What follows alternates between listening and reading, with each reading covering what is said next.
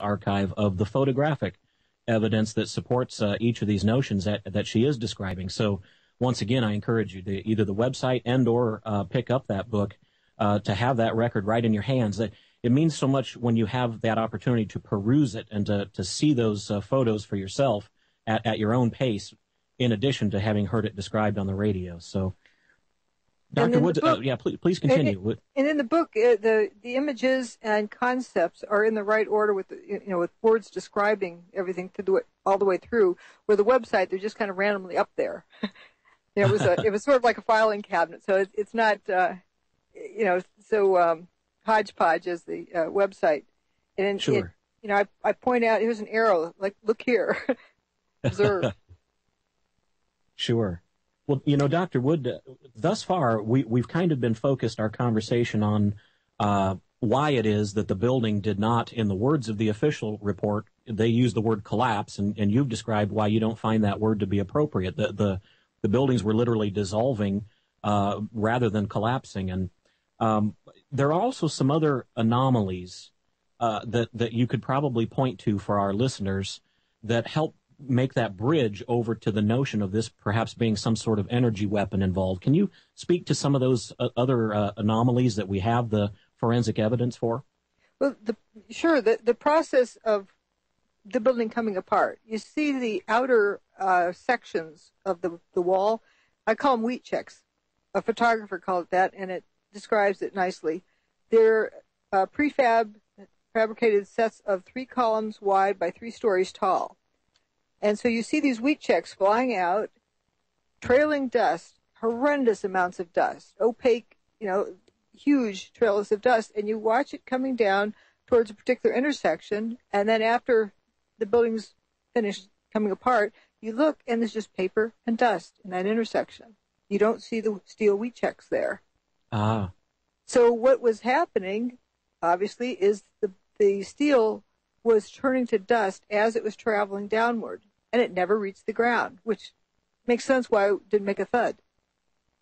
Dust doesn't make a thud when it hits. Yes. Then yes. after it lands, it, uh, there's a picture upwind of the World Trade Center, uh, about you know a block north of Building One, right soon after uh, the, the building's demise, because you can see the car park starting to uh, put up fumes, and you notice off to the west clear blue sky, which means the dust settled out of the air. After it came down, it settled out of the air. That had to be coarse dust. And mm. then you start noticing around the firefighters' feet. I call them fuzzballs. I, I came up with terms to represent uh, phenomenon. If you don't know what it is, don't give it a name of a known phenomenon if you don't know what it is. So it was a placeholder rather than uh, characteristic 57392-A. Sure, sure. and so I call these fuzzballs that round people's feet. Maybe they kick the dust, but then pretty soon you notice the dust is rising on its own.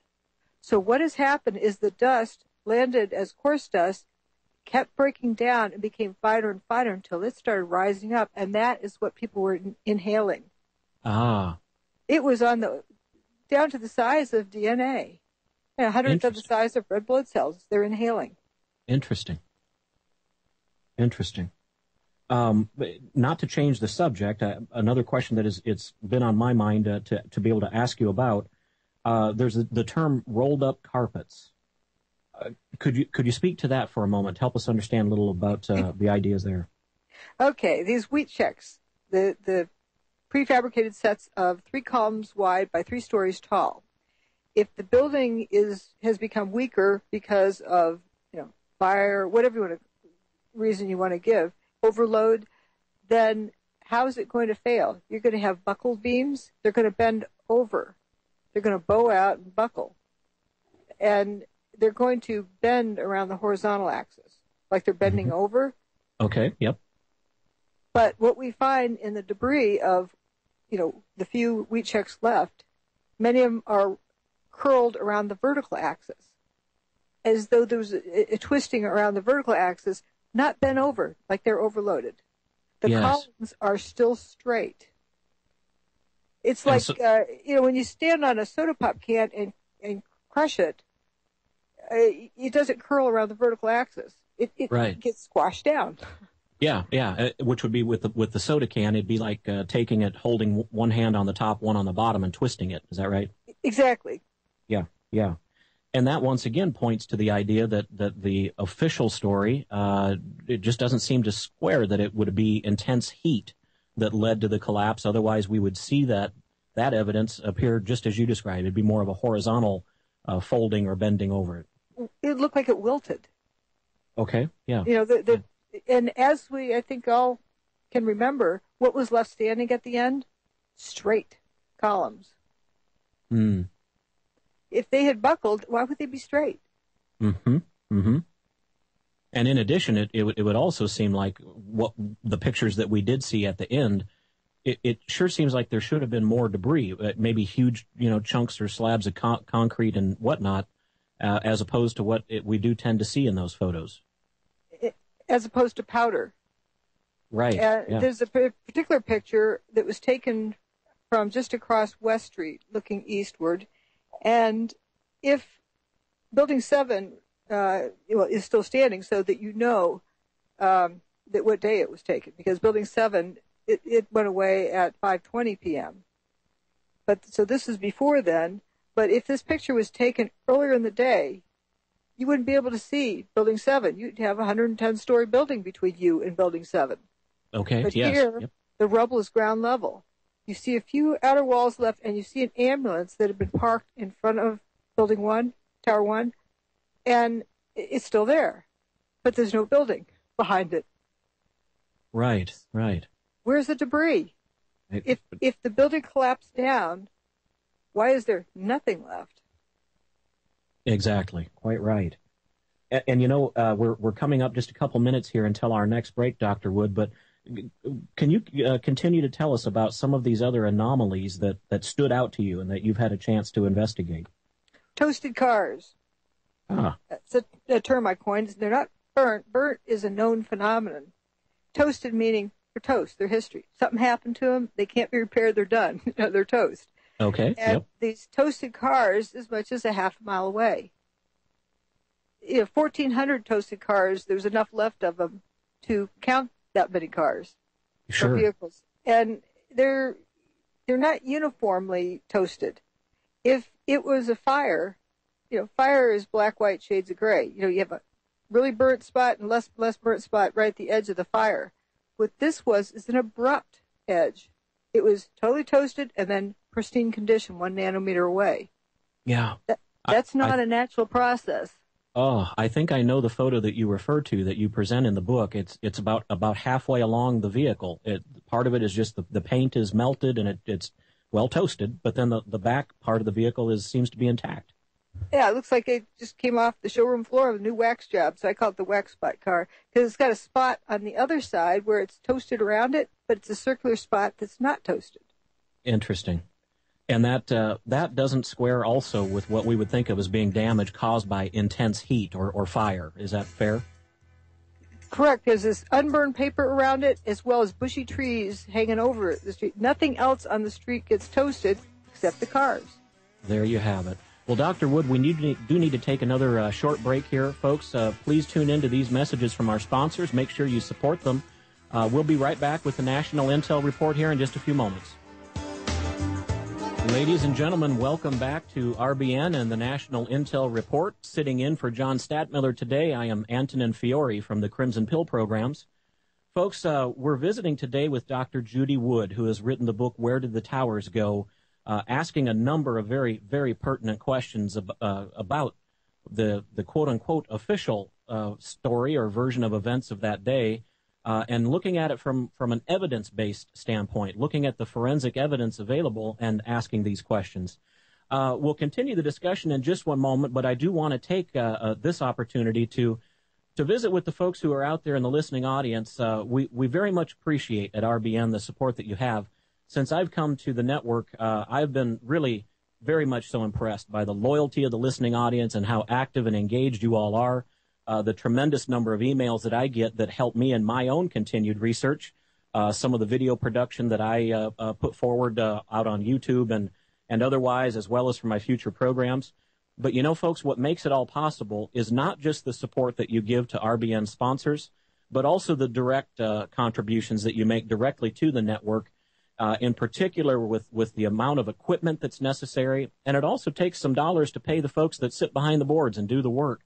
And we'd like to ask your support. I know John's been mentioning this and some of the hosts here lately, but folks, please, please think, think about this for a moment. Uh, out of all of the mainstream media type access out there, if you've got DirecTV or cable, what kind of cost is involved there as opposed to the truth and the quality of the program that, that you get from the many hosts on the network? Myself, I know I've been blown away any number of times. I, I feel like I'm a veteran researcher in pursuit of the truth and yet I'll turn on John's show one day, or maybe I'm hearing Jeff Bennett or Joey, uh, and I, am absolutely blown away by a new topic that they bring to my attention. Uh, I myself have made this kind of uh, support and contribution to the network. I hope you will too. Uh, you can donate directly through the uh, main website page there. Click on that uh, chip in link, or you can call into the network if it's if you'd prefer to visit with someone by phone. You can call in and talk with Sandra or someone else ready to take your call at 800- 724 2719. Folks, if it's uh, $20, I'd prefer it's more like $50, or maybe you give us $30 this month and another 30 down the road. 800 724 2719 uh, to help make that, uh, that possible. You can also send a check. The address is listed on the web page. It's 2251 Double Creek Drive, number 302, Round Rock, Texas, 78664. So in either event, we do hope that you'll uh, you'll help support that. I think that uh, most everyone would agree that the quality of information and the and the diversity of the information and truth that's available on RBN is is simply unmatched uh, in in any other outlet. So once again, folks, please do uh, join us in that effort. Now we're coming up close to the top of the hour, and uh, Dr. Wood, what I'd like to do uh, in, in, just in this quick piece We've been talking about some of these anomalies that uh, that caught your eye and caused you to investigate some of these. Maybe you could share with us another one of these elements that uh, led to your research and investigation in this short time we have left before the top of the hour. Weird fires. Weird fires. But it's important to remember hot things glow, but not everything that glows is hot.